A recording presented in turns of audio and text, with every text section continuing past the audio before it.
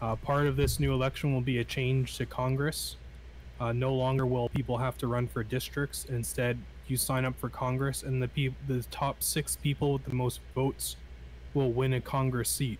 We hope this will streamline how Congress works, as well as get more people involved in governance. So, from the Supreme Justice, I'm Judge Joseph Brown, uh, and that's all we have. All right. Uh, quick question. You don't mind, right?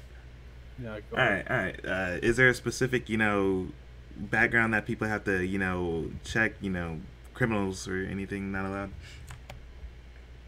Um, all citizens are free to run, as we are Oh. a democratic nation.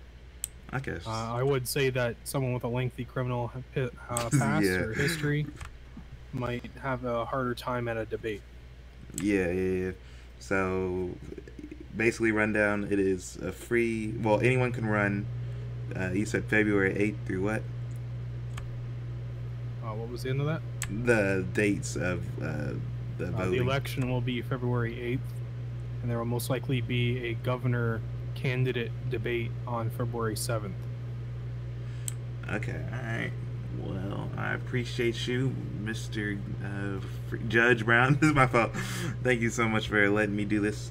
Yeah, no problem.